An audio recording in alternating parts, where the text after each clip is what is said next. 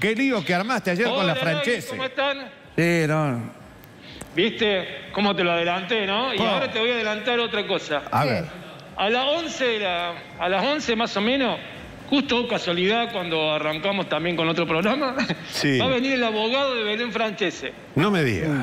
a buscar una notificación que supuestamente tienen en una multa que le han puesto a Belén Francese. Ahora un dato que yo estoy averiguando ayer y me parece que le puede servir para muchos, especialmente los que viven en un country. O sea, que no está autorizado que alguna administración de un edificio de un country te pongan una multa en dinero, porque ayer se conoció que eh, le dieron una multa a Belén de 5.400 pesos Sí. por usar los espacios comunes.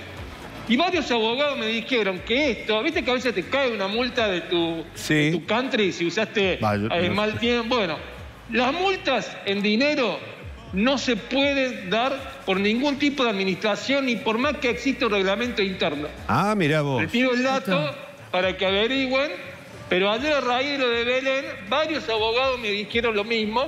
Mirá ¿no? Y dicen que muchas veces la gente lo toma como que es algo que de práctica habitual, que está bien, pero dicen que Claro. en nuestro país no lo puede hacer digo, ningún tipo de administración el de cobrarte una multa o, o algo en dinero, ¿no? Bueno, un buen dato. Vos sabés que una vez yo fui al cumpleaños de un amigo que vive en un country, me invitaron, fui y me, después me llama y me dice, vos sabés que me pusieron una multa porque hice ruido después de las 2 de la mañana, no sé qué, y le pusieron una multa. Claro, estaba en el reglamento, pero vos decís que ni siquiera estando en el reglamento puede ser remunerativa la... Y los consorcios de parlamento también habitualmente Exacto. se Sí, ponen claro. esas También. multas por... Todas dinerarias. Sí, sí, dinerarias no pueden ser. No, lo que no, lo que no sé es qué pasa, porque también hay multa de tránsito, viste, en algunos lugares. Si te excediste, Claro. Viste que cuando vas con el auto y va un poquito a una velocidad, dicen que no están habilitados, ¿no? Y es por eso que también viene su abogado de Belén a buscar ese tipo de notificación. Se habla, digamos, también de una denuncia por parte de la administración, una denuncia penal, ¿no? En la ciudad por el hecho de que eh, ella utilizó, digamos, los espacios comunes eh, sabiendo que tenía coronavirus. Pero el abogado me planteó algo. ¿Qué pasa si Belén al virus se lo contrajo acá en el edificio? Claro. Claro. Claro. Porque en realidad.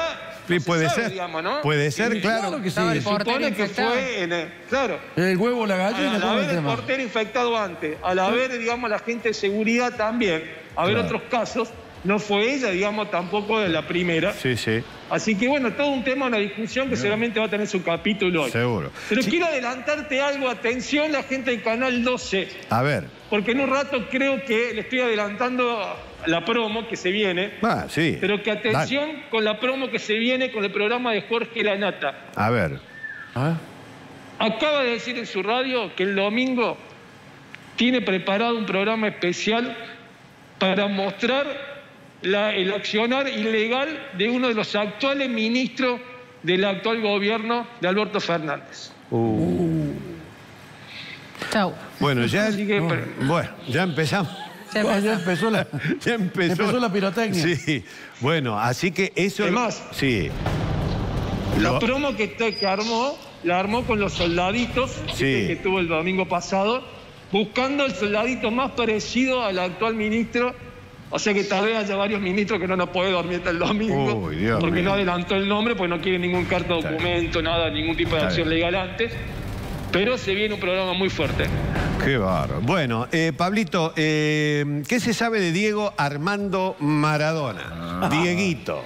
A ver, Lagui. A ver, bueno, aprovechemos también que está el doctor. Arranquemos por la parte linda. Hace 12 días que no toma alcohol. Está bajo los cuidados de su médico personal. Bajó 5 kilos.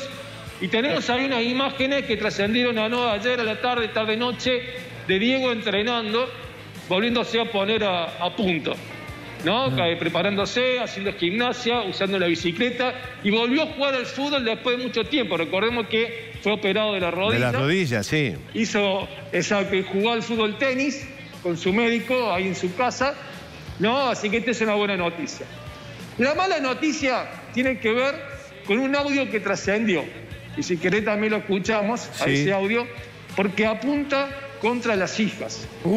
Es un audio de Diego. Hay, que, hay un audio de Diego que hay que también leer lo que el subtitulado, prestarle atención, porque obviamente es de Maradona, Sí. ¿no? Pero muy fuerte ese audio, donde habla, digamos, donde él se hace, hace mención, dice, ahora mis hijas me hablan de borracho, me tratan de borracho, y se olvidan que cuando a una de ellas tenía 15 años, la tuve que levantar en brazos porque en el estado en que estaba. A ver, vamos a, vamos a ver, escuchemos el audio, a ver. Dale, dale, escuchamos. Eh, propio, propio mi hija me la venía a decir. Yo a mi hija la llevé desmayada, la llevé desmayada con 15 añitos a la casa. Esto es, mm, la verdad, me, me duele, pero no le voy a aflojar. No le voy a aflojar. ¿Creen que eh, apurándome a mí me van a hacer caer todo lo que me robó la madre? No, no se enganchen, chicas. No se enganchen. De que estoy borracho, de que eh, propio, propio mi hija me la venía a decir. Yo a mi hija la llevé. Qué va. Dios, Dios, Qué feo lo que que fue. es muy feo, ¿no? Este, tirándose con la hija de un lado para el otro. Exacto, y entendiendo, digamos, que la hija tiene una acción en su contra, de alguna manera manejada por la madre, porque Diego sigue sosteniendo que Claudio Villafañe lo robó. Sí, sí, qué va. Pablo se Es conoce. más, Lagui, sí, algunos dicen sí. que, le, que le dijo a los abogados que si tienen que meter presa a las hijas, No. que lo haga. ¿eh? No. No, no. Buah. Ya se fue. Sí. Estamos hablando de Janina y Dalma, ¿no? Sí, sí, sí. Ya anda por el pasto. y todo eso. Sí, él las, las tiene grabadas en los brazos. En los brazos, claro. Jura por ella, juraba por ella, ¿te acordás? es. Bueno, Así es. eh, ¿ya están algunos de los participantes del Cantando por un Sueño? Sí, señor, atención, porque los primeros anotados son Carmen Barbieri, Ah, Miguel Ángel Rodríguez, bien. ¿no? De los famosos. Sí. Eh, Janina de la Torre, Janina La Torre. Marianita Bray. Sí. ¿sí? Ah. Son los cuatro.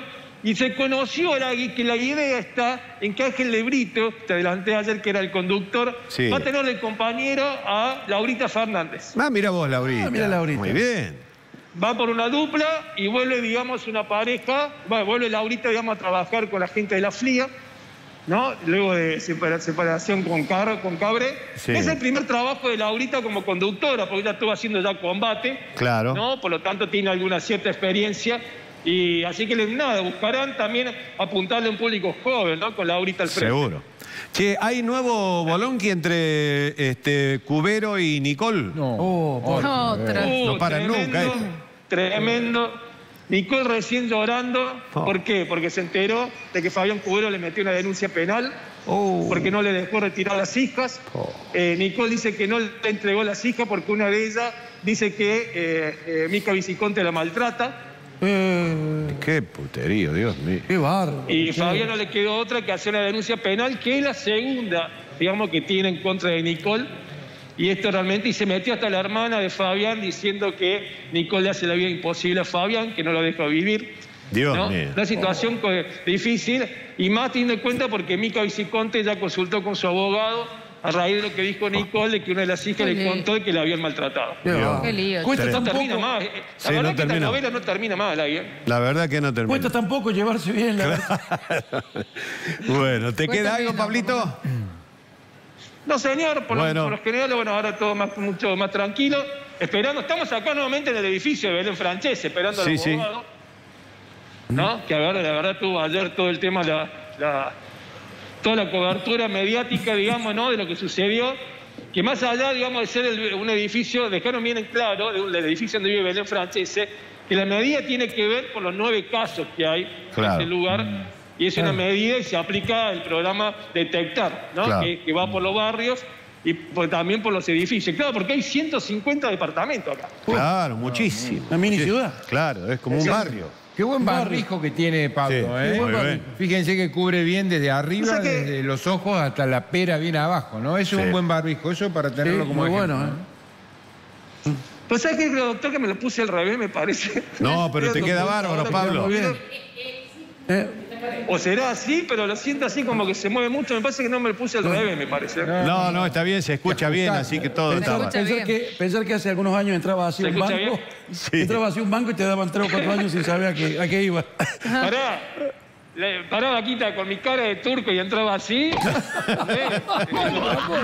Bueno, gracias Pablo. Buen fin de semana. eh, man- Bueno, un abrazo. Chao, chao, chao. Bueno.